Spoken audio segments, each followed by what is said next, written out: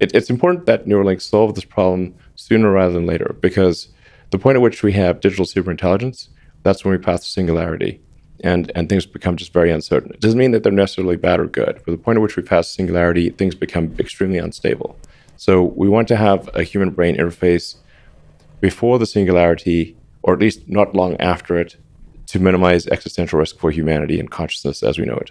Hey, I'm Stephen and this is Solving the Money Problem. If you're new, welcome. If you're not, welcome back. So in this video, we are going off the deep end and exploring what I believe is Elon Musk's most important company. Yeah, most important company. SpaceX, eh. Tesla, eh. OpenAI, eh. Boring company, eh. Neuralink is where it's at. So let's see what Elon had to say. And by the way, guys, in a couple of weeks time, Neuralink is going to provide an update on their progress. So this is going to be a great way to see where were they about a year ago and where are they today. Let's dive in. Hey guys, if you're in the US and you'd like up to two free stocks, check out the link in the description to Webull. If you open a new account and fund it with $100, you get two free stocks, one of them valued up to $1,400. And if you're in Australia, the UK or New Zealand, you can get a free stock with stake using the link in the description. Let's get back to it. People in the AI community refer to the advent of digital superintelligence as a singularity.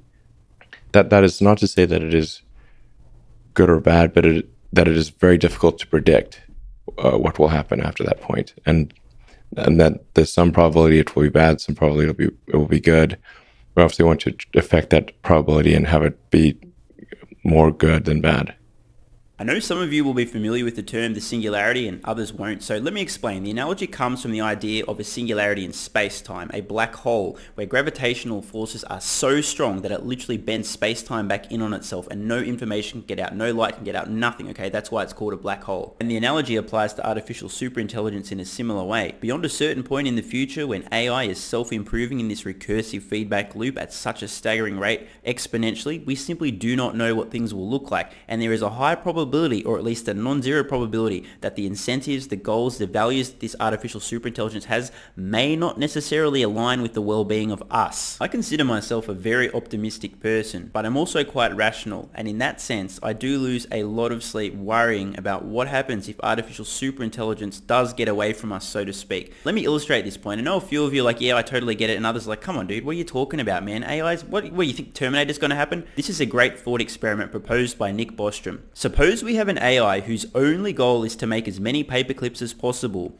The AI will realize quickly that it would be much better if there were no humans because humans might decide to switch it off because if humans do so, there would be fewer paperclips. Also, human bodies contain a lot of atoms that could be made into paperclips. The future that that AI would be trying to gear towards would be one in which there were a lot of paperclips and no humans. And that thought experiment isn't implying that's what would take place. It's just giving us a taste of what we can infer could go wrong in the future with artificial superintelligence. There's unlimited things that could go wrong and it only takes one to be an existential threat to humanity. I know this sounds a little bit alarmist to some people and others are on board. I used to think that everything will be fine, no worries. I looked into it. I do genuinely lose sleep over this. Do you also hope that the work at Neuralink will help us understand more about our about the human mind, about the brain? Yeah, I think the work at Neuralink will definitely shed a lot of insight into how the brain and the mind works. Right now, just the, the data we have regarding how the brain works is, is very limited. You know, we've got fMRI, which is that that's kind of like putting a you know a stethoscope uh, uh, on the outside of a factory wall and and then putting it like all over the factory wall, and you can sort of hear the sounds, but you don't know what the machines are doing really. You know, you, it's hard. You, you, can infer a few things, but it's very broad brushstroke. What a brilliant analogy! In order to really know what's going on in the brain, you really need you have to have high precision sensors, and then you want to have stimulus and response. Like if, if you trigger a neuron, what how how do you feel? What do you see? How does it change your perception of the world? You're speaking to physically, just getting close to the brain, being able to measure signals from the brain. Yeah, will give us sort of oh, open the door in, in, inside the factory. Yes, exactly. Being able to have high precision sensors that, that tell you what individual neurons are doing, and then being able to trigger the neuron and see what the response is in the brain. So you can see the consequences of, of, of a, if you fire this neuron, what happens? How do you feel? What does it change? It, it'll be really profound to have this in people because people can articulate uh, their change. Like if, if, there's a change in mood or if, if they if, you know, if they can tell you if, if they can see better or hear better or be able to form sentences better or worse, or you know their memories are jogged, or that you know that kind of thing. The potential here is absolutely insane. Like think about this. Imagine you've got a Neuralink implant, they're doing some testing, trying to work on curing disease, etc. Just imagine, press a button on your Neuralink thing. Oh, my pain went away. Oh, I don't feel nauseous anymore.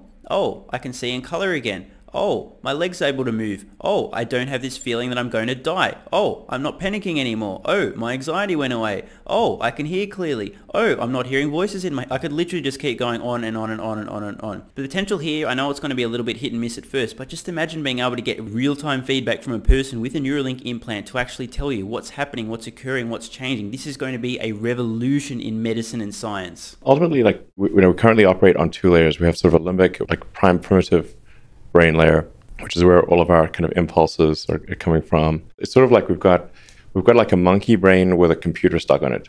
That's that's the human brain, and a lot of our impulses and everything are driven by the monkey brain, and the the computer, the cortex, uh, is constantly trying to make the monkey, monkey brain happy. It's not the cortex that's steering the monkey brain; it's the monkey brain steering the cortex. You know, but the cortex is the part that tells the story of the whole thing. So we convince ourselves it's it's uh, more interesting than just the monkey brain cortex is like what we call like human intelligence. You know, so it's like the, that's like the advanced computer relative to other creatures. Uh, other other creatures do not have really they don't they don't have the computer, or they have a very weak computer relative to humans. But but it's this, it's like it, it, sort of seems like sh- surely the really smart thing should control the dumb thing, but actually the dumb thing controls the smart thing. so we can think of Neuralink, at least in its final form, as a third layer to the human brain, which will massively enhance and expand the scope and scale of human consciousness. I mean, we're a neural net. AI is basically neural net. So it's like digital neural net will interface with biological neural net and hopefully bring us along for the ride, you know. But the vast majority of our, of, of our, of our intelligence will be digital. This is uh, like, like, so like think of like the, the difference in intelligence between your, the cortex and your limbic system is gigantic. Your, your, your limbic system really has no comprehension of what the hell the cortex is doing. You know, it's just literally hungry, you know, or tired, or angry, or sexy, or something. You know, it's, and, and just and, and then it, that communicates that that impulse to the cortex and tells the cortex to go satisfy that. then a lot of a great deal of like a massive amount of thinking like truly stupendous amount of thinking has gone into sex without purpose, without procreation, without procreation, which is actually quite a silly action in the absence of procreation. It's, it's a bit silly. Well, so why are you doing it? Because it makes the limbic system happy. That's why. That's why. What is the most exciting, or some of the most exciting things that you see in the future impact of Neuralink, both on the science, the engineering, and societal broad impact? So Neuralink, I think, at first will solve a lot of brain related diseases. It could be anything from like autism, schizophrenia, memory loss. Like everyone experiences mem- memory loss at, at certain points in, in age. Parents can't remember their, their kids' names and that kind of thing. So th- there's, I think, a tremendous amount of good that uh, Neuralink can do in solving critical damage to the brain or the spinal cord. There's a lot that can be done to improve quality of life of individuals, and that will be those will be steps along the way. And then ultimately, it's intended to address the the risk, the existential risk associated with uh, digital superintelligence. Like we will not be able to be smarter than a, a, a digital supercomputer. Um, so therefore, if you cannot beat them, join them, and at least we want to have that option. You, you have hope that Neuralink will be able to be a kind of um, connection to allow us to to merge to ride the wave of the improving uh, AI systems. I think the chance is above zero percent. So it's non-zero. Yes. There's a chance. You know, it went from maybe one in a million to improving. Maybe it'll be one in a thousand, and then one in a hundred, then one in ten. It depends on the rate of improvement of Neuralink and how fast we're able to do make progress, you know. This is why Neuralink to me is by far the most exciting of Elon Musk's companies. This is the ultimate end goal. This is what he's aiming for. Now, yes, it'll be difficult. So was Tesla. So was space. I could keep going on. You get the point, right? Not going to be easy. But if Elon can pull this one off, holy shit curing all kinds of diseases, ending huge amounts of suffering for millions, if not billions of people. The potential here truly staggering and then augmenting human intelligence, expanding the scope and scale of consciousness itself. What the actual fuck?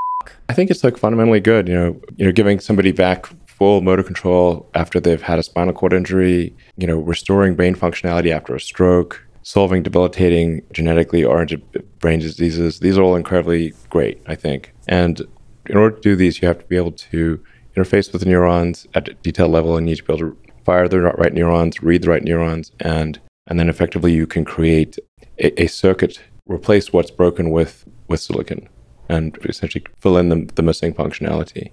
And then over time, we can have we develop a tertiary layer. So if like the limbic system is the primary layer, then the cortex is like a sec- the second layer. Um, and as I said, the, you know, obviously the cortex is vastly more intelligent than the limbic system, but people generally like the fact that they have a limbic system and a cortex. I haven't met anyone who wants to delete either one of them. They're like, okay, I'll keep them both. That's cool. The limbic system's kind of fun. Yeah, that's where the fun is. Absolutely. Um, and then you, you, people generally don't want to uh, lose the cortex either, right? So they like having the cortex and the limbic system. Yeah. Uh, and and then there's a tertiary layer which will be digital superintelligence. And uh, I think there's room for optimism given that the cortex, the, the, the, the cortex is very intelligent and the limbic system is not, and yet they work together well. Perhaps there can be a tertiary layer where digital superintelligence lies, and that that will be vastly more intelligent than the cortex, but still coexist peacefully and in a benign manner with the cortex and limbic system. I, for one, am very excited about the future, providing AI doesn't get away from us anyway. Now, let me know in the comments below, guys. Are these new concepts for you? Have you heard of this singularity? Do you think this is a realistic scenario in the future that we'll merge with AI? Do You think it's completely ridiculous? Will you be an early adopter of Neuralink, or are you staying the f away from artificial intelligence getting anywhere near your brain. And I know a lot of my subscribers are stock investors, so let me know if Neuralink ever went public in the future, would you be interested in investing in Neuralink stock? And just to bring things full circle, some final parting words from Elon Musk. It's important that Neuralink solve this problem sooner rather than later because the point at which we have digital superintelligence, that's when we pass the singularity. And, and things become just very uncertain. It doesn't mean that they're necessarily bad or good. But the point at which we pass singularity, things become extremely unstable. So we want to have a human brain interface before the singularity, or at least not long after it, to minimize existential risk for humanity and consciousness as we know it.